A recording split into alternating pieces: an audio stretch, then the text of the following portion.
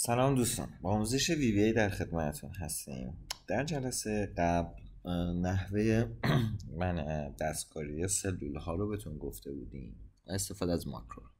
توی جلسه قبل ترش هم گفتیم چطوری می‌تونیم داده ها رو از سلول ها بخونیم و داده ها رو توی سلول ها قرار بدیم خب حالا می‌خوایم توی این جلسه از این ویژگی استفاده کنیم. این داده ها رو اول یه دستکاری توی اکسل انجام میدیم واسهشون. خب حالا بهتون نشون میدم. بعد اون داده ها رو میایم توی یک جدولی قرار میدیم. بهتونم گفتیم که ما می‌خوایم از این جدول به عنوان یک لیستی استفاده کنیم که می‌خوایم چک ها رو پشت هم هر کدوم از اینا یک چکه بزنیم و همه رو پشت هم پرینت بگیره. دیگه چند بار نه این چک بنویسیم و به راحتی بتونیم چک و پرینت بگیریم. خب پس چه کاری لازم داریم؟ ابتدا اینکه این دیتا رو داخل وی بی بخونیم داخل یک متغیری حالا اگه خواستیم قرار بدیم یا اینکه به صورت مستقیم بخونیم و قرار بدیم یعنی این سلول ها داخل جدول قرار بدیم برابر هر کدوم از این داده ها قرار بدیم. خب؟ و هر دفعه که دوباره اینو می‌زنیم دوست داریم که یک سطر جدید به این جدولمون اضافه بشه یه دونه بیاد پایین و اون اطلاعات وارد این جدول بشه. اما همونطور که اینجا می‌بینین جدول من یه سری اطلاعات بیشتری نسبت به چیزی که اینجا وارد کردم داره. بر فرض من اینجا تو گفتم تاریخ یک هفته 1395 اما به صورت خودکار اینجا فهمیده که تاریخ به صورت فارسی چجوریه؟ یک مهر یک آره درست یک مهر یک هزار و سیصد و نود و پنج. به فارسی میشه. به خاطر چی؟ به خاطر اینکه توی چک من نه تنها باید اینجا تاریخ رو عددی بنویسم باید دستی باید به صورت نوشتاری هم بنویسم. و همچنین واسه مبلغ رو هم همینطور. مبلغ مثلا باید پایانش معلوم باشه که کسی نتونه اضافه کنه. و خب ما از طریق فرموله اکسل اومدیم اینا رو ساده سازی کردیم. کسی که بخواد چک رو بنویسه فقط کافیه تاریخ رو بنویسه. عددی که می‌خواد به ریال رو تایپ کنه. و ما وقتی که به چک می‌رسیم دیگه اینجا sharp رو قرار میدیم که کسی دیگه نتونه به اون اضافه و کم کنه. یادتونه؟ یعنی می‌دیدین دیگه همه یه خط اینور کامل میندازن که کسی نتونه اضافه کنه. اینجا با این کار کسی این کار نمی‌تونه انجام بده. خب حالا وارد بحثمون بشیم. من اینجا رو هاید کردم. آن هایدش می‌کنم. تو داریم که فرمول های اضافه رو اینجا نوشته بودیم خب. همونطور که می‌بینین توی این قسمت F date اومدیم اینجا تحلیل کردیم. با یه سری فرمول. اونا رو تبدیل به فارسی کردیم.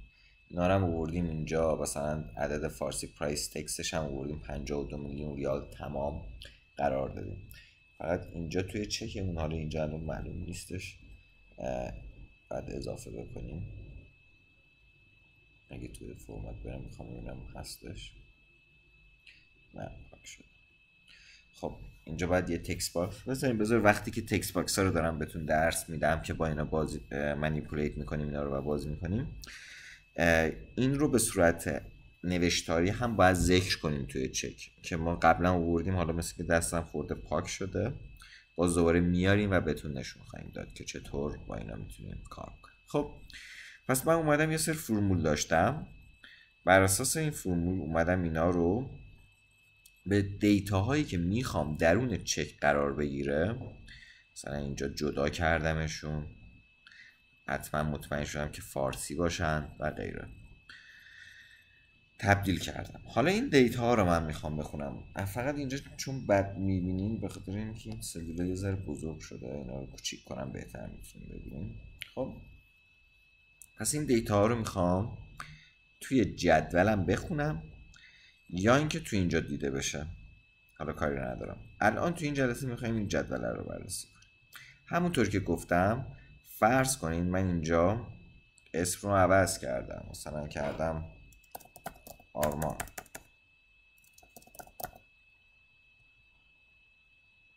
آرمان بیگی به طور مثال. درسته؟ مبلغ رو هم عوض کردم. شده مثلا سه و تاریخ هم عوض کردم. خب؟ اول چیزی که می‌خواد راحت تر یاد بگیریم پاک کردن لیسته. اما خب اینو بذاریم تو بعد بگم. اول وارد کردن داده ها مهمه مثلا اینجا توضیحات هم عوض شده. مثلا آقای آرمان بگی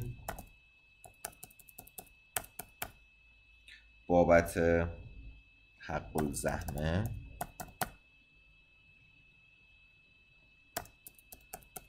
آره تاریخ قرارداد فلان همین. حالا هر چیزی دیگه کاری ندارم. خب؟ الان می‌خوام وقتی که این دکمه رو می‌زنم به این لیستم یه سطر اضافه بشه و اطلاعات اون قرار بگیره خب می‌زنم میگه داده ها سابمیت شد. و حالا توی این لیست می‌تونیم ببینیم که بله سطر پنجم ساخته. دیت رو قرار داده مبلغ رو قرار داده اسم توضیحات به صورت فارسی مطمئنم که اعداد فارسی شده که اینم با کد بوده. حالا بعدا اگه وقت شد بهتون نشون میدم جلسات بعد و تاریخ به صورت تکست و دوباره مبلغ. خب. آها ببین این پرایس تکس الان من اینجا کدم اشکال داره. خب؟ اینجا به صورت عدد نمی‌خواستم باشه. عدد اینجا داشتم. می‌خواستم به صورت توضیح نوشتاری باشه.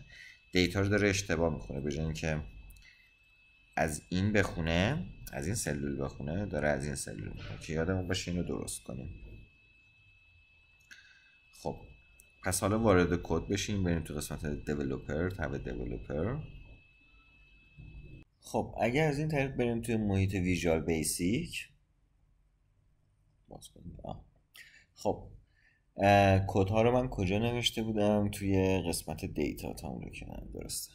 خب این قسمت مربوط به جایی هستش که من اد تو لیست نوشتم. خب اسمش اد تو لیست هست. جایی هستش که من وقتی که اینا رو وارد کردم و اضافه کردم به لیست رو می‌زنم این کد اجرا میشه. خب. حالا بذاریم اولین کاری که می‌کنیم چیه؟ من چجوری وقتی اینو می‌زنم کد اجرا میشه اینو به شما نشون بدم؟ خب میام اینجا یه دونه شیپ انداختم شیپ عادی هر چیزی. درستش کردم و خوشگل مشکلش کردم و اینو جای خودش. وقتی که روی این شیپ کلیک راست بکنم اساین ماکرو دارم. و اونجا کدایی که نوشتم مثلا add to list هر چیزی که نوشتم و می‌تونم بهش assign کنم. و من اینجا اومدم OK رو زدم و حالا از این به بعد می‌تونم روش کلیک کنم و اون کد اجرا بشه که حالا اینجا نمی‌خوام. با اینم هم همین کارو کردم. یه shape گذاشتم خوشگل مشگلش کردم assign کردم اون کدم و خب، پس کار خاصی نداشتش. حالا این کد. حالا public ش که اگه بنویسیم ننویسیم فرقی نداره کاری نداریم. یه sub اومدم به نام add to list. گفتیم که خط تیره و فاصله نمی‌تونیم واسه name بزنیم پرانتز باز پرانتز بسته end sub. من اینجا یه table دارم. خب؟ من این data رو می‌خوام بخونم بذارم توی این table م جدولم. جدول تو VB تو اکسل یک شی هستش. ما باید شی جدول رو توی VBA اول تعریف کنیم. بگیم آقا ما یک شی داریم. شی یه مقدار متفاوته با متغیرها. ما شی ها رو حتما باید این بالا به عنوان یک object حالا هر شیی که هست تعریف کنیم خود table ها یک شی عادی نیستن یک list object هستن. فرق ListObject با object چیه؟ ListObject ها توی VB یک سری شیایی هستن که آرایه‌ای مانندن. یعنی می‌تونن تو یک مکان از حافظه داده های مختلفی رو قرار بدن توش. خب؟ و در موقع یک لیستن. دقیقا از اسمش معلومه. یک فرهست یک لیستی هستن. پس table ها هم همینطوره. پس اول باید بیایم بگیم Dim. اعلام کن. MyTable. یه اسم می‌ذاریم. می‌تونه table two table یک table data هر چیزی. یه اسم باشه. به صورت از به صورت یک ListObject پس اینجا من table م تعریف کردم. با بقیه متغیرها کاری نداشته باشید. پس اولین کاری که می‌کنیم واسه اینکه بخوایم با table ها کار بکنیم توی VB اونا رو باید تعریف بکنیم. اگه تعریف نکنیم error می‌گیره بعدش داخل اون function یا sub ه که می‌خوایم کد رو بنویسیم قبل از هر چیزی قرار بده اون متغیر ListObject همو خب برابر اون table م یعنی تعریف اون table م هستش. خب شما می‌تونین بدون تعریف کردن این MyTable به صورت ListObject از table ها استفاده کنین ها. ولی هر دفعه باید اینو بنویسین این تیکه رو. یعنی چی این تیکه؟ میگه برو تو شیت سه. خب شیت سه کدومه؟ شیت یک دو سه. بر اساس اسم نرفتیم آیدی رفتیم. اینم یکی از روش های تعریف کردنه. یه دونه داشتیم می‌گفتیم شیتس سه. ببخشید فارسی نوشتم. شیتس سه. این دقیقا همونه sheet سه انگار نوشتم. خب؟ پس فرق نداره. پس برو تو sheet سه. تو sheet سه ListObject هایی که وجود داره ListObjects میره توی sheet سه این sheet سوم. مگه یه table دیگه داشته باشم من می‌تونم اینجا داشته باشم و کاری ندارم می‌تونم اینجا راحت یه دونه table تعریف کنم. خب؟ میگه برو توی این sheet کلا. حالا توی sheet سه بین ListObject هایی که وجود داره اینی که table ی که نامش اینه checkers list این رو قرار بده برابر با MyTable. یا هر کاری که می‌خوایم روش انجام بدیم. اینو از کجا در آوردیم خب می‌دونین دیگه کسایی که این چون باید اکسل از قبل یه مقدار بلد باشین دیگه وقتی که می‌خوایم VB کار کنیم الان نیم این اینجا معنی تیبل نیم تیبل دو. این یکی چیه؟ اومده بیاین اینجا تو قسمت دیزاین چک لیسته من اومده بودم اینجا این نیمش رو تغییر داده مثلا نوشته بودم چک لیست حالا هر چیزی. از این بعد دیگه اسم این تیبل هم اینه. خب من اینو پاک می‌کنم دیگه نیازی ندارم. پس بر اساس اسم تیبل گفتم برو توی این sheet. این table رو ببخشید. این table رو بگیر. حالا به اینکه هر دفعه اینو بنویسم قرار دادم توی یک متغیر ListObject به نام MyTable پس قرار ست کن. این تفاوت هم داره با متغیر عادی که مساوی می‌زنیم ست کن. MyTable رو برابر با این تیبلی که تعریف می‌کنم. از این بعد می‌تونم تمام ویژگی تیبل رو توی این متغیر داشته باشم. خب بعد اینکه ست کردم تیبل ریکورد مساویه با مای تیبل یعنی این. می‌تونستم به جای مای تیبل دقیقا اینو قرار بدم و اما اگه اسم شیت عوض کنم باید برم تو همه مواردی که اینجا قرار دادم کپی کردم. اسم عوض کنم. ولی اینجا دیگه مای تیبل میدم فقط اینجا اسم عوض بشه مثلا لیست بشه لیست دیگه فقط هم یه دونه رو تغییر میدم. لازم نیست. خب حالا می‌خواستم اینجا چیکار کنم؟ می‌خواستم تعداد رکورد ها تعداد سطر هایی که واسه این تیبل وجود داره رو بشماره خب؟ اینجا الان میاد میگه آقا یک دو سه چهار پنج وجود داره دیگه. به غیر از این این هدر من تیبل هستش. جزء بادی تیبل من نیست اونایی که تیبل رو می‌شناسن. باید اینو متوجه باشن. من برم توی دیزاین هدر دارم توتال رو دارم. اینم جزء بادی تیبل من نیستش. می‌تونم ب... آره این ویژگی خاصی نیستش. رنگ بندی هاشه این دوتا جزء بادی تیبل من نیستن. این توتال رو با هدر. خب می‌تونم حذفش کنم. اما اینجا بادیه. خب بدنه تیبل هم هستش. اینجا میاد لیست روز توی تیبل لیست سطرها رو بشمار. پس وقتی اینو میشماره کانت می‌کنه تعداد سطرهای موجود توی تیبلم رو به دست آوردم. بعد اومدم ست کردم. row مساویه با my table dot list rows add کن. خب حالا اینجا که یه دونه سطر رو اد می‌کنه در واقع میادش اینجا. یه دونه خالی اد می‌کنه دیگه. اینجا یه دونه سطر تیبل رو اضافه می‌کنه بهش. اگه اینجا توجه کرده باشین اینو من از ماکرو پیدا کرده بودم. خودم حفظ بودم. رفتم ماکرو نوشتم چجوری حد میشه کردش و دیدم و از ماکرو استفاده کردم. این هم یه نکته است اینجا. حالا یه سطر که اینجا اضافه شد می‌خوام data ها رو توی اون سطر قرار بدم. درسته؟ خب میام اینجا چیکار می‌کنم؟ میگم توی table م MyTable م dot. تو قسمت body ش data body range. در قسمت body ش در سلولهاش چون هر کدوم قسمت های مختلفی داره. خب؟ در واقع در قسمت جدول تو قسمت بادیش سلول سلول تیبلز ریکورد به اضافه یک. خب؟ کجا میشه سلول تیبلز ریکورد به اضافه یک؟ تیبل ریکوردز اینه. یعنی تعداد سطرها. پس من میام اینجا توی تیبلم پنج سطر دارم اینجا. پنج به اضافه یک میشه شیشمیش درسته؟ خب. پس توی بادی شیشمیش از بالا نمی‌گیره که بگه هفتمی ها از بادی می‌گیره. خب. پس میگم این سطر حالا کدوم ستون؟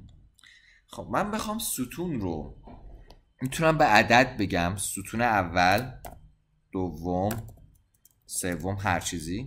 یا به این صورت بگم. بگم توی تیبلم توی لیست کالمز لیست کالمز کجا میشه؟ میشه ستون های من. لیست ستون های من اینا میشه. درسته؟ توی اینا اسم اون ستون رو بهش برگردونم. بگم ستون راو. خب؟ ایندکسش کن عددش رو بگو. بگو چندمین ستون این. دقیقا میاد یک رو می‌ذاری اینجا انگار. خب؟ و تو پایینیاش هم همینطور. میاد دیت رو توی لیست کالمز میاد اینجا میگه دیت دومیه. عدد دو رو ایندکس می‌کنه. قرار میده اینجا. خب؟ پس توی تیبلم تو قسمت بادی رنجم سلول پنج اضافی یک شیش و شیشمین سلول سطر و دومین اولین ستونم برابر قرار بده با تیبل رکورز به اضافه یک. یعنی همون پنج به اضافه یک. میشه 6 که اگه من اینجا دوباره اد کنم اینجا 6 رو خواهید خب قبل اینکه جلوتر بریم بریم استپ با استپ ببینیم با برنامه داره کار می‌کنه اینجا. تا اینجا من رفته بودم دیگه. خب من می‌خوام از قضیه دیباگ کردن. اینا رو خب من اد کردم خودم. واسه اینکه اد کنین می‌تونیم بیاین اینجا ویو تول بارز این دیباگ رو اینا رو اد کنین. خب اگه اینجا اد کنین می‌تونین به جای اینکه بیاین اینجا هی بزنین اینجا بریم خب من میام چیکار می‌کنم؟ من یه راه دیباگ کردنم اینه که اینو ران کنم این میاد اینجا که من زدم بریک می‌کنه وای میسته. ولی یه رش من اینه که من می‌خوام دونه دونه برم پایین. خب این دونه دونه های من نیستن.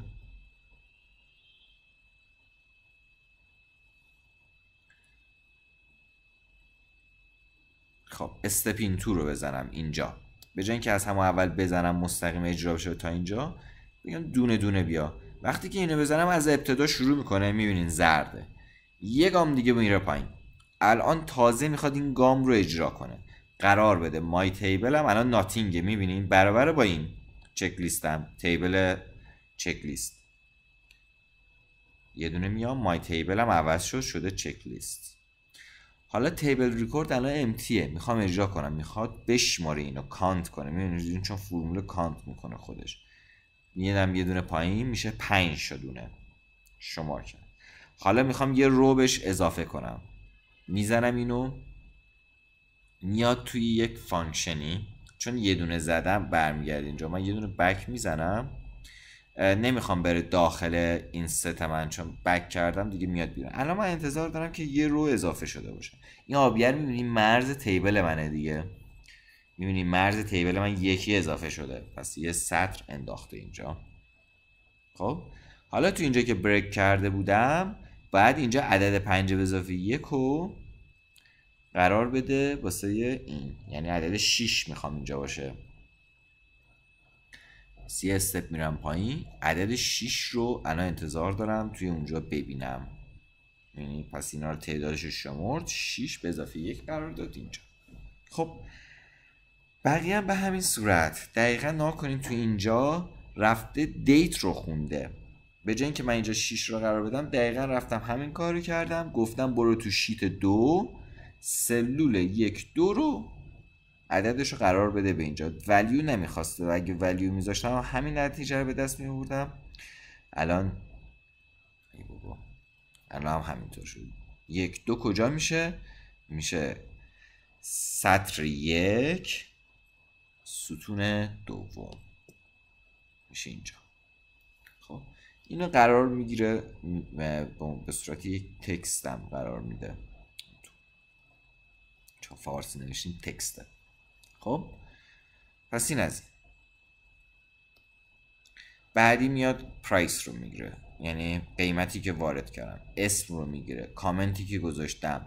بعد میاد ماه و روز و ماه و سال جدا جدا می‌گیره. می‌بینی بر اساس شیت دو من قبلا جدا کرده بودم اینجا با فرمول اکسل دیگه. میاد اینا رو می‌گیره. بر اساس شیت. یادتون باشه من یه دونه اشتباه داشتم. اینو که می‌خواستم تکستش باشه. سطر چنده؟ یک دو سه چهار پنج هفت. بخش ستون هفتم و سطر هفتم. هفت تا هفت رو باید واسه price text قرار بدیم. اونجا اشتباه گذاشته بودم الان باید پیداش کنم. اینا price text چهار و هفت گذاشتم. اینو باید هفت و هفت کنم. خب حالا دونه دونه میرم. برمیگردم. بخوام این که داخل داخل برنامه یعنی function دیگه نره باید این step into رو نزنم. یه step over بزنم. حالا دیگه داخل function table م نمیره بیام اینجا توی لیست. می‌بینی که تا اینجا رو پر کرده رفته و قرار داده. الان انتظار دارم اسم رو بیاره آرمان بیگی رو.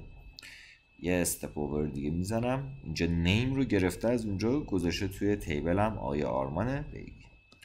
به همین صورت وقتی که اینو بزنم میره و میگه دیتا سابمیت میشه. من اجرا کردم تموم شدش. فکر کنم چون وسطش دیگه چیز کردم break کرده بودم اینجا error داد. حالا. و من اینجا انتظار دارم که دقیقا اینجا تکس رو اووردش. همونطور که من error رو نمی‌دونم چرا دادش. دوباره اجرا می‌کنم ببینم اون error رو می‌گیرم. نه error نمی‌گیرم. Application-defined or object-defined error. تا اینجا میاد اینو error میده. آها چون من تو sheet دو گفتم برو اینو select کن و خودم اینجا بودم. بعد اینجا باشم اینو بزنم.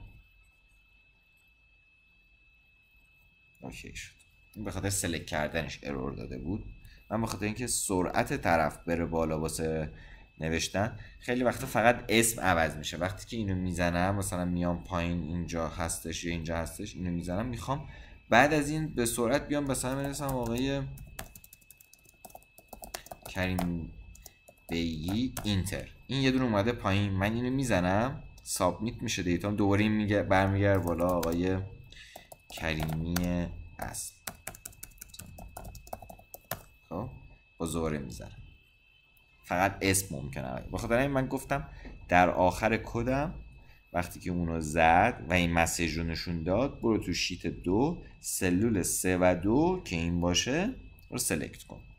و اگه لیستمون هم ببینیم همه اینا رو اومده وارد کرده. خب دوستان امیدوارم مفید واستون واقع شده باشه. خیلی کاربردی هستش این. نه تنها فقط واسه چکامون. خیلی جاها می‌تونین یه فرمی رو داشته باشین و اطلاعات رو از اون فرم به صورت یک لیست در بیارین و ازش استفاده یه database استفاده کنین. یعنی فرم و database داشته باشین. خب امیدوارم استفاده کرده باشین. تو جلسه بعد وارد بقیه مباحث نکسل میشیم. خدا نگهدارتون